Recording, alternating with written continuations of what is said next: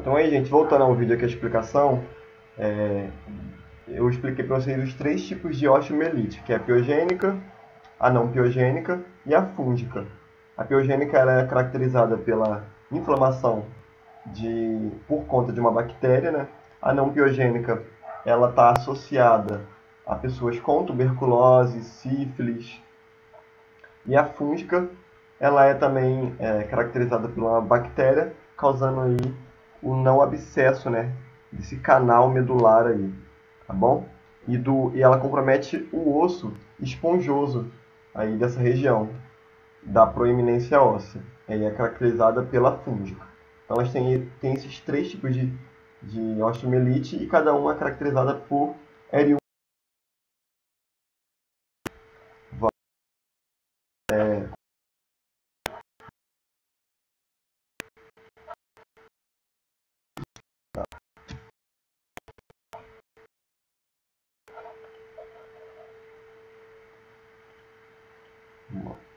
Então, ó, se vocês observarem aí na tela, vocês já vão ver, né, é, a perna desse, desse paciente aí, ela está ali toda comprometida, toda inflamada, infeccionada, está é, dando ver que é nitidamente que é alguma coisa relacionada ao osso, e aí foi feito uma aqui, uma radiografia em AP e perfil da perna do paciente, e aí nós podemos diagnosticar aqui que tem uma fratura, e também podemos observar que existe já um processo infeccioso dentro do canal medular desse paciente aí. E esse paciente ele pode ser encaminhado para ressonância magnética para poder fazer um estudo a fundo é, das partes moles aí desse paciente. E aqui do lado nós temos aí a, a mesma imagem, a mesma perna, só que já em exame de ressonância magnética, né, é, evidenciando um processo infeccioso dentro do canal medular desse paciente aí. E aí é que mostra a extensão né, da infecção da osteomielite, aí toda cheia de abscesso, né, dentro do canal medular, né, caracterizando aí a patologia de osteomielite. Tá bom, gente? E aqui também, ó, já o processo inicial da osteomielite dentro do canal medular desse paciente aqui, também na tíbia aí. E aí nós podemos ver no raio-x que há já uma formação de, de alguma coisa dentro do canal medular do osso desse paciente aí.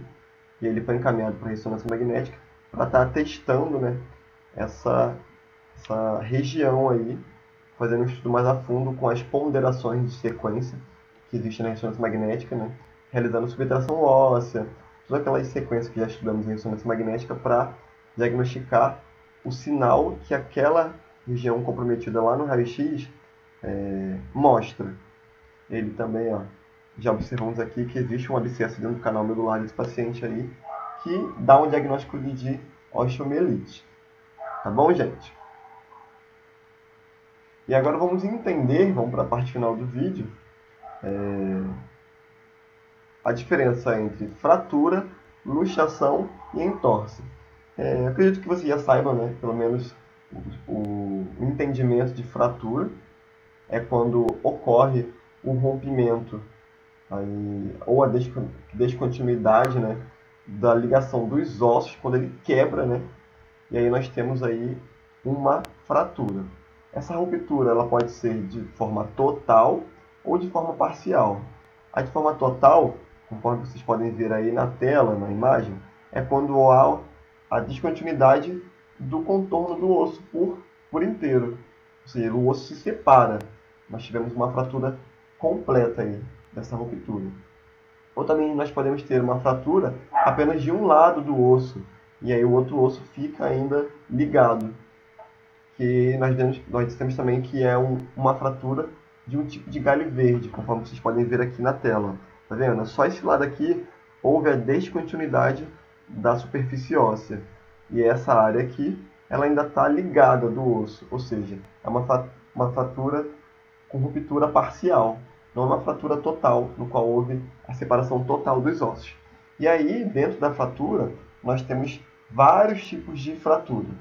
Nós temos a fratura transversal, ó, que é a, o desligamento total do osso com esse corte transverso aqui. Nós temos uma fratura oblíqua, isso depende né, da direção da fratura. Nós temos uma fratura tipo, tipo espiral, é quando o osso roda, assim, ó.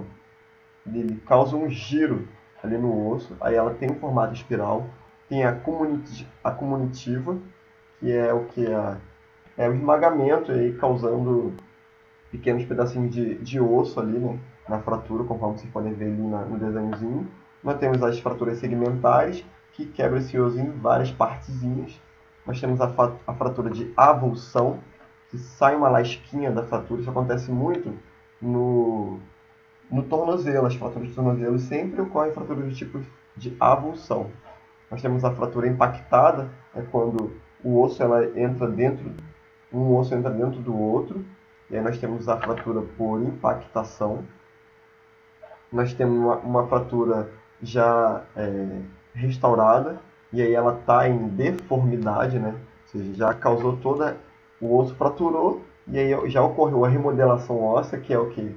A restauração desse osso aí, e aí vai formar um calinho ósseo, só que ele não calcificou de uma forma correta. Ou seja, a fratura, pós-fratura, ocorreu uma deformidade nesse osso aí. E nós temos a fratura de galho verde, que são aquelas lasquinhas é, que causam é, no osso aí, conforme vocês podem ver ali na tela. Essa é a fratura do tipo galho verde. Então, fratura é quando há uma descontinuidade do osso né, durante, nessa ruptura, completa ou parcial, dessas trabéculas aí, né, que é a superfície. E aqui eu trouxe para vocês aí umas imagens de fratura. Né? Ó, aqui nós podemos observar uma fratura do tipo é, transversal, tá vendo? Aliás, transversal não, é, oblíqua, tá vendo? Tem um corte Tá vendo? Aqui. Mostrando para vocês aí, voltei aqui. Pra vocês lembrarem. E aqui nós temos uma oblíqua. Aqui nós temos uma cominutiva, ó, tá vendo? E aqui no perfil dessa fratura, pode ver que ela cortou bem. E aqui nós temos a fratura cominutiva do, do húmero, ó. tá vendo que o, essa parte do osso aqui, do húmero, entrou dentro da cabeça do húmero. Então ela é chamada cominutiva. E aqui são as outras imagens que houve aqui uma cirurgia, né? Ela está reduzindo, né? seja, colocando no lugar esse, essa estrutura do húmero aí. Aqui também nós temos outro tipo de fratura, que também fez aí é, é, estilhaços aqui, né? Do osso.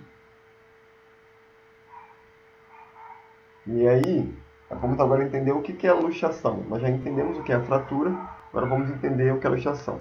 A luxação está ligada muito às articulações. Então, ela é a perda total da relação da união dessas articulações aí. E aí, a luxação ela pode ser total ou parcial. Quando ela é uma luxação parcial, ela é chamada de subluxação. Ou seja, os ossos não separaram é, totalmente um do outro Aqui não ocorre fratura, não, não tem ruptura do osso, tem deslocamento do osso. E aí, quando ocorre o deslocamento, a desunião desses ossos, nós temos uma luxação, diferente da fratura. Tá bom, gente? E aqui, como vocês podem ver aqui, ó, raio-x de cotovelo. Tá vendo aqui que saiu totalmente aqui o, a estrutura do húmero aqui, ó, o rádio a una aqui, a cabeça da una, que processo olécrano, do olécrano, que ele se deslocou daqui do úmero, e aí houve uma luxação, porque saiu totalmente uma estrutura da outra. E aqui no dedinho também, tá vendo? Esse dedo aqui, essa falange, ela perdeu a ligação com essa outra falange aqui, saiu totalmente. Nós temos aqui também uma luxação agora aqui na patela, ó, uma vista axial, de uma tomografia computadorizada. Tá vendo que é, a direção aqui ó, do joelho tá para cá e a patela tá desse lado aqui, ó. Foram as duas patelas, ou seja, houve uma separação aqui, né? Que a patela foi para um lado e o joelho está para o outro. Ou seja, a patela saiu da frente do joelho. Também houve uma luxação aqui em ambos, ambos os joelhos seja, luxação bilateral fêmulo patelar. E aqui nós temos aqui uma outra radiografia de ombro bilateral, tá vendo? Evidenciando aqui ó, o aumento do espaço acrômio clavicular. E aqui também houve uma luxação, acompanhada ou não de uma entorse, ou seja, que é a extensão da, do tendão né, que une ali os ossos. E aí ele pode ter arrebentado, causando uma entorse, também acompanhada de luxação. Sombra aqui do lado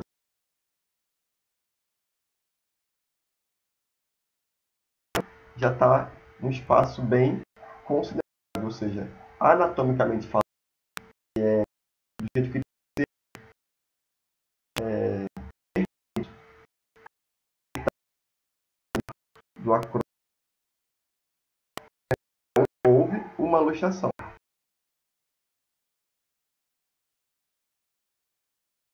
Pela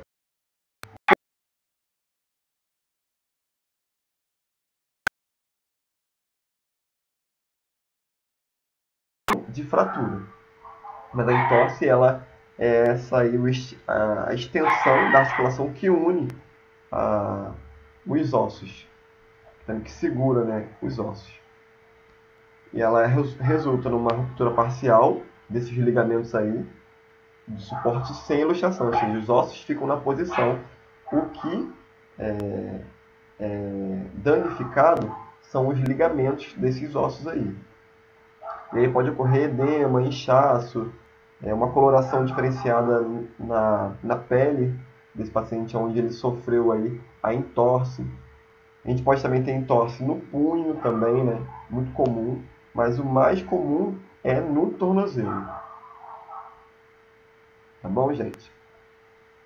E aí aqui, ó. E aí a gente consegue ver, é, analisar, né, de forma mais certeira e profunda é, na ressonância magnética, que é, ela é aconselhada para o estudo de tendões, ligamentos, partes moles, discos é, intervertebrais, é, esses discos articulares aí, né? E aqui, na imagem aqui em cima, em ressonância magnética em corte é, axial, ó, vamos ver que aqui existe um ligamento aqui, ó, lateral, ele está intacto, tá vendo? Já aqui, nós já podemos observar que ele, tá, ele está corrompido, ou seja, houve uma entorse, mas a estrutura óssea continua intacta. Não teve uma luxação, ou seja, o deslocamento do osso. Só houve, é, o ele provavelmente deve ter feito é, um movimento de inversão ou eversão desse pé aí, que é para dentro ou para trás, e voltou. Ou seja, ele esticou o ligamento e voltou. E aí danificou, rompeu esses ligamentos aí causando aí a entorse. E aqui também, ó, uma ressonância magnética de punho num corte coronal, tá vendo? Da frente para trás. E aqui detectou, né, uma sequência de pulso aí na ressonância magnética, uma alteração nos ligamentos aqui dos carpos do punho. E aqui também caracterizou aí é, uma lesão por entorse nesse ligamento, luno piramidal, que é localizado aqui onde a setinha está. Tá bom, gente? Então a gente fica por aqui. Esse é o fim da matéria aí. É, e, até, e na próxima aula nós teremos a prova. Eu vou deixar para vocês é, tudo certinho anotado aqui na plataforma qual é o conteúdo que eu vou cobrar nessa prova. A prova valerá 7 pontos. Então nós já fizemos um teste avaliativo valendo 2 pontos. Foi dado aí algumas pesquisas para vocês valendo um total de um ponto, todas elas e aí formando três pontos, e mais essa prova aí, que vai valer sete pontos. Tá bom, gente? Eu vou deixar direitinho para vocês no portal aí, todo o conteúdo que será é, cobrado na avaliação do módulo. Tá bom, gente? Então, a gente fica por aqui. Até a prova. Uma boa noite a todos.